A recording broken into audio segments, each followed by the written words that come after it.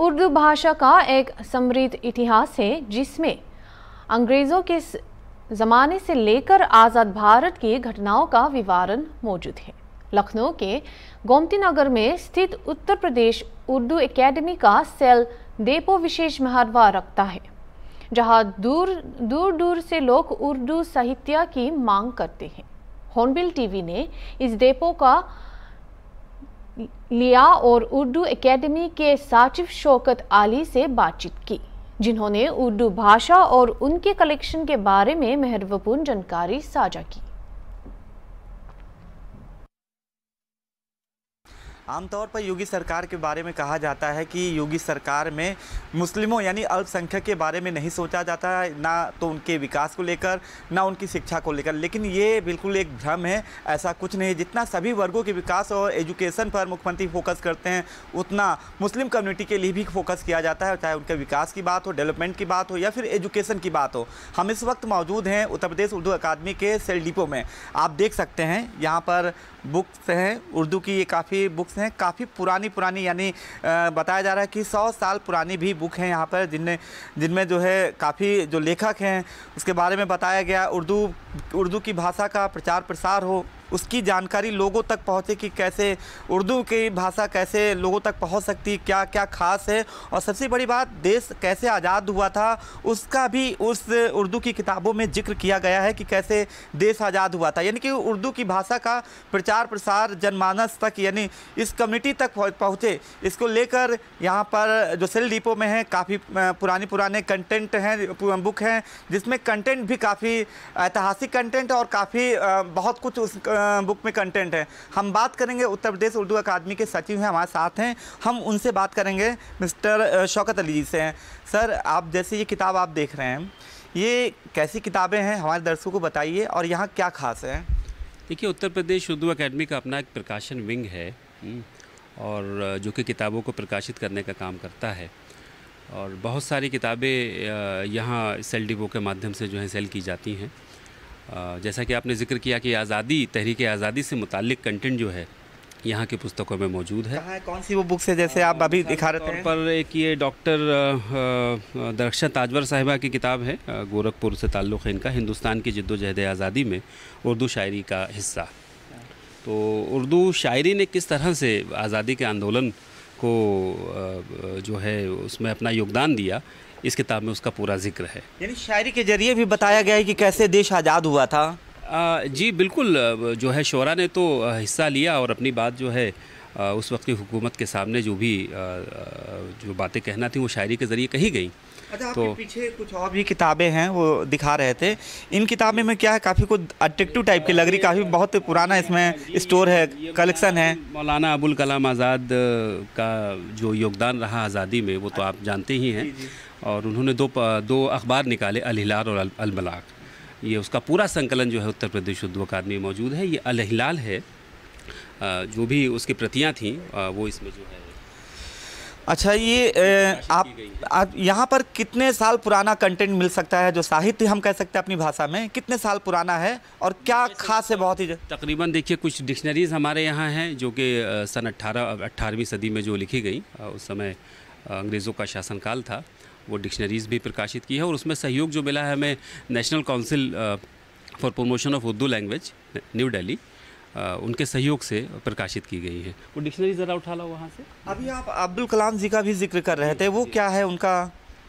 जैसा मैंने बताया कि अल हिलाल और अल बलाग ये दो अखबार थे जो जिसके कि वो एडिटर थे। तो उसका जो भी कंटेंट है वो उत्तर प्रदेश उर्दू अकादमी ने प्रकाशित किया है। उसको संकलन उसका जो है यहाँ से प्रकाशित हुआ है जिसकी काफ़ी डिमांड रहती है।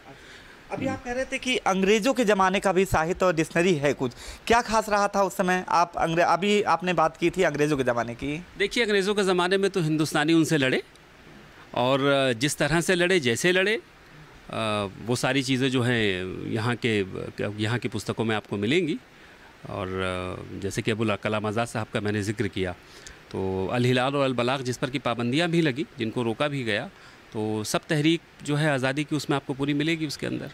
अच्छा एक सवाल ये है कि जैसे मदरसों में आजकल हाईटेक एजुकेशन हो रहा है उत्तर प्रदेश सरकार कर रही है क्या इन किताबों की डिमांड मदरसों तक की जो बच्चे पढ़ते हैं या उससे भी ज़्यादा अपर क्लास के जो जो एजुकेशन है चाहे वो सिविल क्योंकि आपका जो विभाग सिविल सिविल सर्विस सिविल की परीक्षा भी कराता है तो क्या उन इन किताबों की डिमांड वहाँ के भी स्टूडेंट होती है मदरसे के भी स्टूडेंट करते हैं या कहाँ कहाँ इन किताबों की रीच है? ये उत्तर प्रदेश उर्दू अकादमी की जो ये किताबें हैं ये तो यूनिवर्सिटीज़ में भी पढ़ाई जाती हैं। और हमें तो याद आता है जब मैं ख़ुद एक तालब इल्म था तब दर्जा छः सात आठ और नौ दस हाई स्कूल वगैरह और इंटरमीडिएट में भी किताबें जो हैं चलती हैं निसाब में शामिल हैं।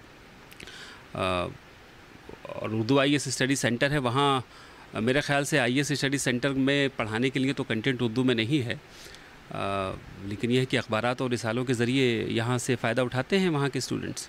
अच्छा जैसे आमतौर पर जो और जो हिंदी की किताबें होती हैं इंग्लिश की किताबें होती हैं उसमें तालीम के साथ साथ तरबियत भी सिखाई जाती है। क्या इस उर्दू की लैंग्वेज में भी ऐसा कुछ है? उत्तर प्रदेश उर्दू अकादमी परिसर में यहाँ पर उर्दू सिखाने का काम तो किया जाता है। हम्म, यहाँ हमारा जो है कोचिंग सेंटर चलता है। किताबत स्कूल भी यहाँ चलता है जिसमें कि कैलीग्राफी सिखाई जाती है। तो तरबियत इसी तरह से दी जा रही है। शौकत जी, आखिरी सवाल मेरा ये है कि यहाँ बहुत अच्छा कलेक्शन है। अंग्रेज़ों के ज़माने का भी कलेक्शन है, आपने ज़िक्र किया। क्या क्या खास है और क्या कितनी डिमांड है? लेकिन एक मुझे लगता है, एक थोड़ी सी कमी ये है कि लोगों में अवेयरनेस नहीं है।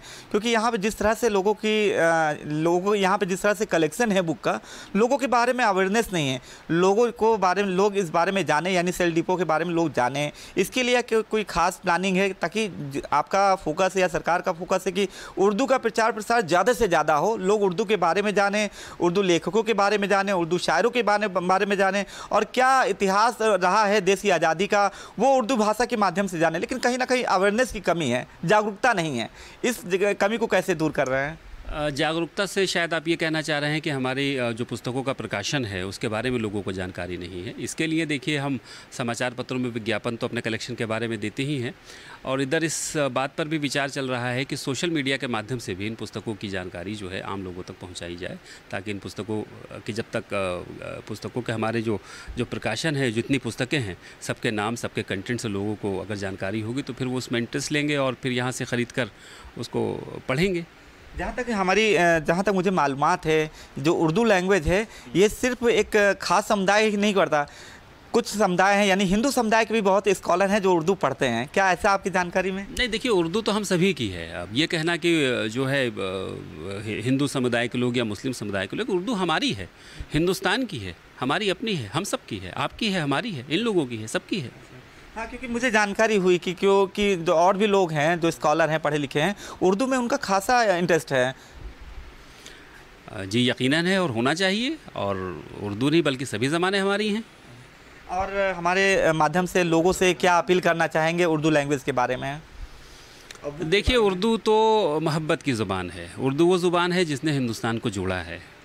उर्दू में वो ताकत है जो कि हमारी राष्ट्रीय एकता को फ़रोग दे सकती है।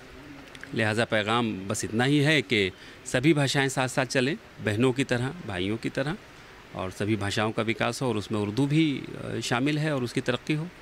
देखिए, आप शौकत अली जी थे, जिनका साफ़ कहना उर्दू मोहब्बत की भाषा है। जिस तरह सभी भाषा का विकास होता है, प्रचार प्रसार होता है, और डेवलपमेंट की बात करी जाती है, किसी भी समुदाय या बुक्स को लेकर, उसी तरह सभी जो भाषा है, चाहे हिंदी हो या या उर्दू हो, वो आपस में भाई बहन है, जिस तरह सभी भाषा का प्रचार प्रसार हो रहा है सभी भाषा का हो रहा है उसी तरह उर्दू उर्दू भाषा का भी प्रचार प्रसार हो, ऐसा इनका कहना है। अनिल सैनी के साथ अनूप चौधरी, हॉर्नबिल टीवी, लखनऊ।